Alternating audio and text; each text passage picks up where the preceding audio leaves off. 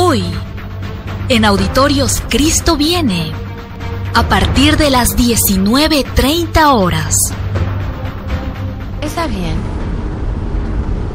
Es que mi padre me dijo que estabas tan ocupado con tu carrera militar y los negocios petroleros que él casi no te conoció. Que tal vez tuvo cinco conversaciones contigo en toda su vida y eso fue cuando se metió en problemas. Así que me parece un poco tonto cuando me dices que tienes una relación personal.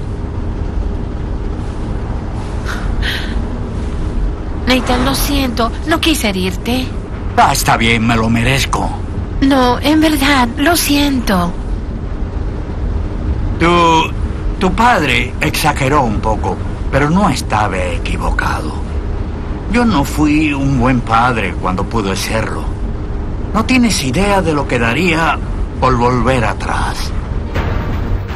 Hoy, en Auditorios Cristo viene, a partir de las 19.30 horas.